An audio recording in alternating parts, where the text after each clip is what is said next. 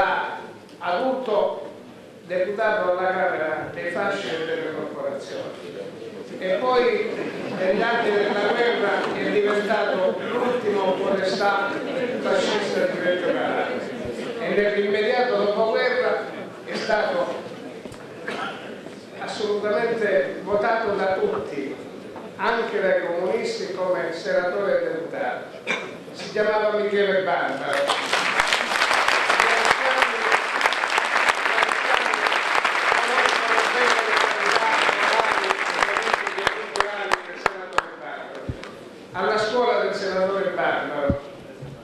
Sono cresciuti tanti giovani dell'allora Movimento Sociale Italiano. Alla scuola di, del senatore Barbaro, dell'onorevole Gregori, dell'onorevole Raffaele Valencise sono cresciuti tanti giovani.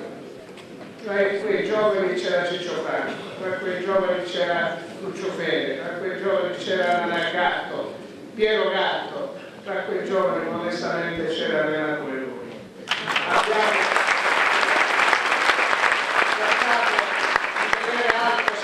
il siglo della battaglia della città, della battaglia della onestà, del servizio alle istituzioni. Abbiamo avuto grandi soddisfazioni, grandi sofferenze, abbiamo fatto grandi battaglie, ma siamo qui e abbiamo avuto soprattutto il merito, scusatemi se lo dico, il merito di aver saputo dare esempio a una classe di giovani che hanno superato in largo e in lungo tutti noi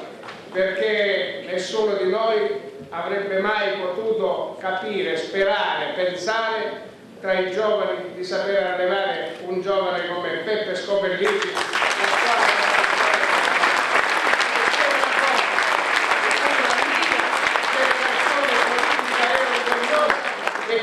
avere istradato tanti giovani sulla giusta strada del servizio alle istituzioni. Ecco perché io oggi sono veramente felice di essere stato invitato a condurre questa manifestazione. Questa non è una manifestazione, questa è l'inizio di una grande marcia alla conquista di una grande città e di una grande provincia, sotto la guida di un grande governatore della Calabria, che rivoluzionerà il volto della Calabria così come ha fatto con il volto della nostra città. La parola a Peppe Scoperlini, il nostro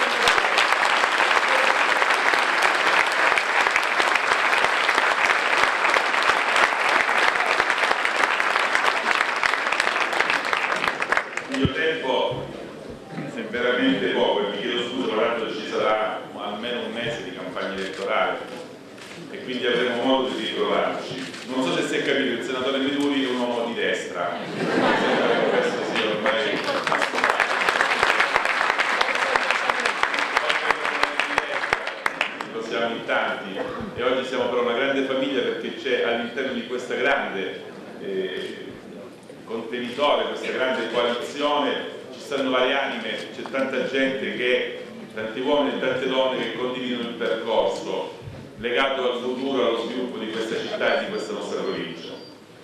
Io brevissimamente intanto sono qui per fare un grande in bocca al lupo sia per Peraffa per questa esperienza alla provincia, sia a Arena per questa tornata elettorale al comune. Credo che parleremo anche nei prossimi giorni di tutta una serie di impegni e lo farò io in una conferenza stampa, lo dovevamo già tenere, già tenere nei giorni scorsi, ma purtroppo i tanti impegni non hanno consentito, di portare, come abbiamo sempre fatto, all'attenzione della città gli impegni che la giunta regionale ha assunto nei confronti di Reggio Calabria e quindi di questa città in un anno, perché ieri era un anno dall'inserimento della giunta regionale.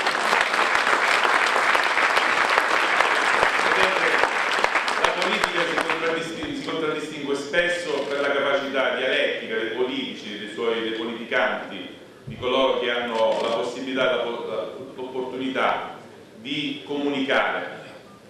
ai cittadini. Ecco, io non so se quando daremo numeri e cifre con tanto di atti deliberativi qualcuno avrà ancora la possibilità di parlare nei confronti dell'impegno nostro manifestato nei confronti di questa città ma anche della provincia ovviamente. Quindi questo dimostrerà ancora una volta che la politica ormai si divide non soltanto tra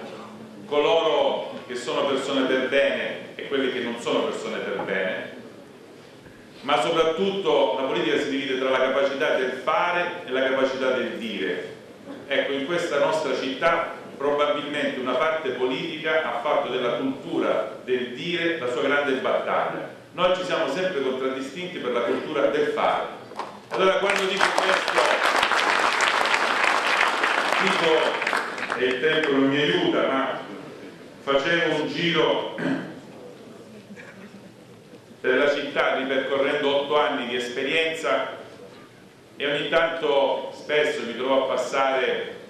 dal nuovo Palazzo di Giustizia dove lì andammo a mettere col ministro Castelli, col sottosegretario Valentino la prima pietra. Oggi il Palazzo di Giustizia è una realtà. Era un sogno, mi sembra del 1997 che trovò qualche risorsa dopo arrivò il governo Berlusconi e diede il finanziamento corposo era il triplo di anzi il quadruplo di quello precedente per realizzare queste grandi opere. Poi ci sono tantissimi altri interventi che in questa città sono stati realizzati, magari li ricorderemo perché è giusto rinfrescare la memoria chi invece ha sempre fatto battaglie con la sola idea di abbattere l'avversario io penso un solo dato che abbiamo ripetuto più volte e mai nessuno ci ha smentito. Nel 1997 in questa città si facevano 18 gare d'appalto per opere pubbliche. Nel 2007 in questa città col nostro governo si sono svolte 265 opere pubbliche soltanto nel 2007. Questa è la, la differenza di capacità di produzione e interventi. Certo poi sono arrivati problemi legati ovviamente anche ai tagli dei comuni quindi alla fase problematica della liquidità delle amministrazioni, diciamo, ci siamo trovati in un contesto molto, molto triste di un centro-sinistra che spiegherò perché oggi è importante vincere in prima battuta sia il comune che la provincia, perché è evidente. Pensate voi come un cittadino reggino possa votare magari centro-sinistra, dove ha quattro candidati al comune, altrettanti alla provincia, dove c'è Peppe Bova, dove c'è Canale, dove c'è, eh, adesso non ricordo, De Caridi, dove c'è eh, quell'altro del Movimento Comunisti Lavoratori Siclari, un voto dove queste liste nascono in contrapposizione l'una all'altra, cioè l'IDV nasce in contrapposizione per non, condiv non condividere il progetto del PD, la lista di alte state, di insomma, di, di questo polo locale nasce perché comunque fuoriescono dal PD e quindi quando queste persone anche in un'ipotesi di ballottaggio si dovessero ritrovare a condividere un percorso vi lascio immaginare che l'odio profondo che li divide diventa difficile farlo rinascere in amore per la città, anche perché francamente tra questa gente di amore verso questa città io ne ho visto negli anni veramente poco. Sono portatori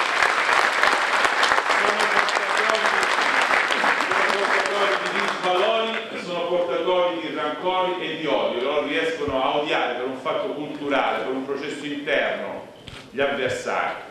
Noi invece abbiamo sempre avuto nel rispetto, nella realtà che ci contraddistingue, grande considerazione dei nostri avversari, non abbiamo mai considerato nessuno nemici. Però non vi dimenticate che anche ciò che accade in questa città, che è accaduto in questa città, è il sintomo di una necessità di abbattere di abbattere gli avversari perché quando non hai uomini, quando non hai valori, quando non hai energie, risorse e quindi idee devi ricorrere a fattori esterni o a situazioni che hanno poco a che fare con la politica. Allora noi vogliamo riportare al centro della nostra azione la politica del fare, quella che ha dato a questa città in otto anni una speranza, quella che ha costruito una città perché Reggio era diventata grande in quegli anni, perché Reggio ha la possibilità di continuare ad essere grande perché questo centrodestra oggi ha messo in campo gli uomini migliori per affrontare questa grande sfida perché ha messo in campo uomini che sono in grado di competere per creare le condizioni di ulteriore crescita, di sviluppo e di ricchezza. In questa sala abbiamo dimostrato, con tanto di slide qualche mese fa, come centinaia di comuni della Lombardia sono a rischio per i propri bilanci, a rischio di sesso, non a rischio del rispetto del patto di stabilità perché è chiaro che i comuni che vanno a produrre iniziative e che quindi producono azioni, che mettono in campo risorse, è chiaro che poi hanno nei tagli delle difficoltà, possono correre il rischio delle difficoltà. Non è questo caso, l'abbiamo detto più volte, la difficoltà è un tema legato alla liquidità delle amministrazioni e su questo si è creato sempre quella condizione di diciamo, voler buttare fango sulla città io volevo sicuramente rappresentare qualcosa di ulteriore, diciamo così, come, come passaggio. Volevo dire che hanno tentato prima in Parlamento per cercare di sciogliere il Comune di Reggio Calabria per infiltrazione mafiosa quelli della sinistra, quelli del Partito Democratico di questa città, che purtroppo in questa città e con questa città non hanno nulla a che fare. Allora,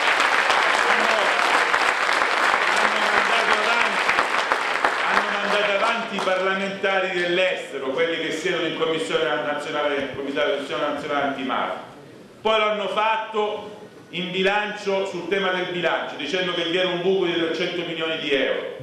Poi sono, hanno preso ceffoni anche qui e adesso vedremo cosa verrà fuori rispetto a questa campagna elettorale, quale altro scoop penseranno di fare, cercando di raccontare ancora una volta falsità ai regimi. Bene, l'ultima volta che in Parlamento si parlò della città di Reggio Calabria, si parlò quando Italo Bocchino si alzò per dire grazie perché Reggio Calabria è diventata a pieno titolo con i voti del Parlamento in una riforma costituzionale, è diventata città metropolitana. Ecco qual è la differenza.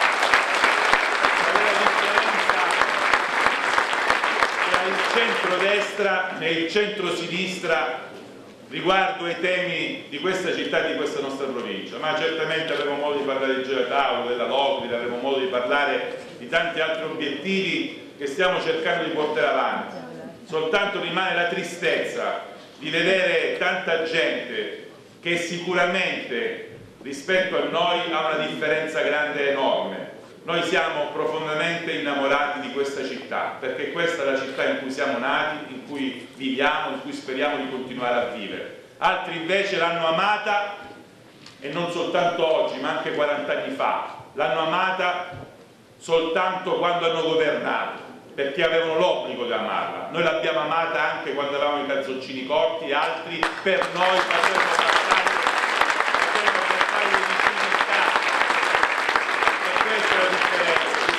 crescere oggi bisogna amare profondamente la propria comunità. L'angolo che ci sta vicino di strada, ogni cosa ci appartiene perché è parte integrante di questa comunità. Ecco perché noi guardiamo a queste elezioni con l'idea di sostenere in maniera forte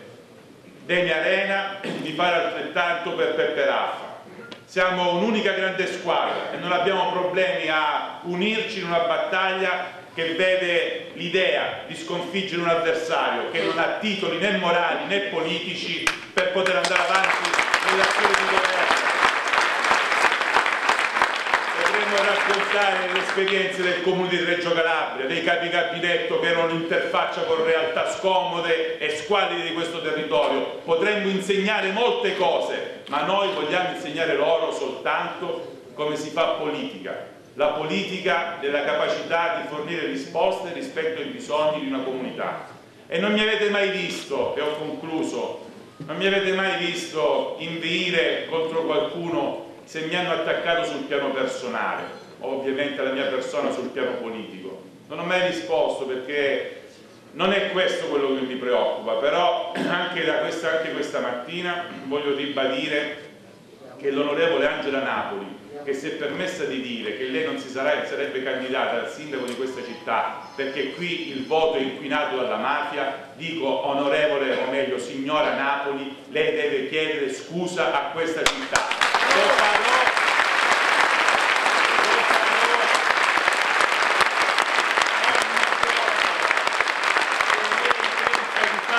rispondere alle mie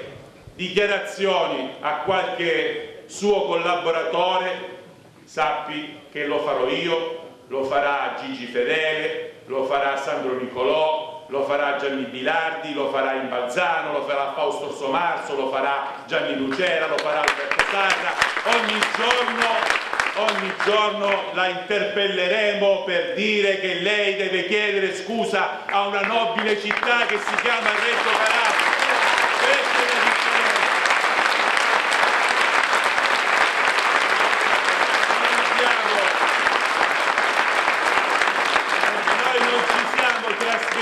Roma, abbiamo deciso di vivere qua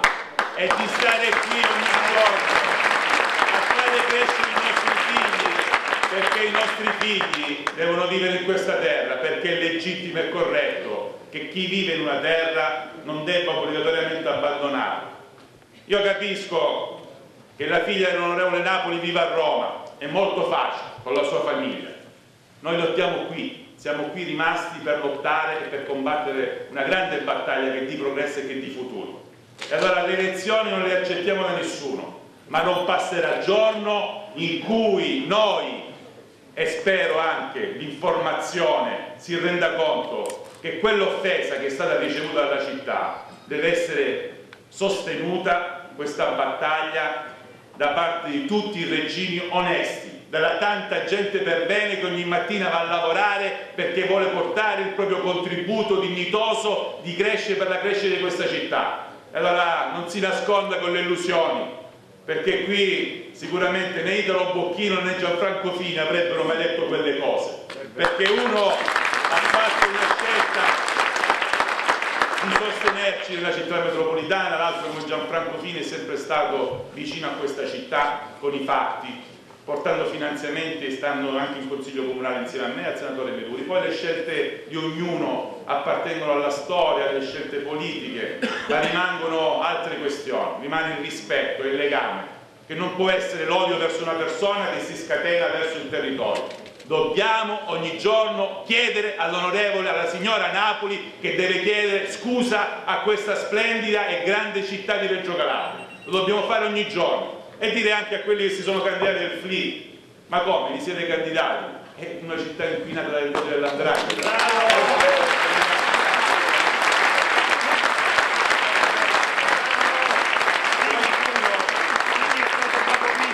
qualcuno ci racconti, ci racconti invece con dignità, con correttezza e soprattutto con onestà perché l'onorevole Napoli non si è candidato. Noi lo sappiamo. Noi lo sappiamo perché non si è candidato, ma ce lo dicano loro. E soprattutto, e soprattutto sappiate che per questa città abbiamo condotto grandi battaglie, continueremo a fare le postazioni che ognuno di noi ricopre, che questa battaglia è una battaglia importante, che dobbiamo creare sempre di più consenso attorno a queste candidature, perché sia Deni Arena che Peppe Raffa hanno le carte in regola per governare questi processi futuri, avendo per la prima volta anche in 40 anni, e questo mi sembra anche una cosa che a volte vado a ricordare, non fa mai male, che per la prima volta in questa nostra regione, questa nostra città, ha un suo presidente eletto direttamente dal popolo. E allora conferenza stampa a Reggio, l'ho fatta anche nelle altre province per dire i soldi che abbiamo portato. Nessuno si illuda di poter giocare dicendo che io sono uno, diciamo così, fazioso per la mia città. Sono profondamente innamorato, grazie a Dio, di questa città. Però dico che così come è giusto portare risorse a Cosenza e a Catanzaro, è anche giusto portarle da dove non sono mai arrivati. Nella misura in quale quale misura così come spetta a tutta la Calabria, come a Viva e Crotone. Ecco perché oggi noi siamo una classe dirigente che sta lavorando per riunire questa grande regione. Ce la possiamo fare. E da Reggio Calabria, dal comune e dalla provincia arriverà un risultato importante perché qui c'è una classe dirigente unita, compatta, coesa, con tanti giovani in lista, con tantissime donne che hanno il coraggio di affrontare una campagna elettorale con la schiena diritta perché questa città non possa smettere, non debba smettere di continuare a sperare perché questa città deve continuare a sognare. E noi questa città la vogliamo sempre più forte e sempre più grande questa città e questa provincia lavoreremo e continueremo a lavorare tutti insieme per renderla ancora nuova, diversa, ancora più solidale, ancora più spinta, ancora più forte, ancora più capace di affrontare le grandi sfide, le trasformazioni che ci arriveranno a breve tra il, dal federalismo a tantissime altre scelte che ovviamente dovremo fare, ma le faremo tutti insieme perché questa coalizione ha una classe dirigente che è cresciuta facendo politica, stando insieme alla gente, coltivando il sogno e l'idea di costruire un avvenire migliore, un futuro diverso per i nostri figli.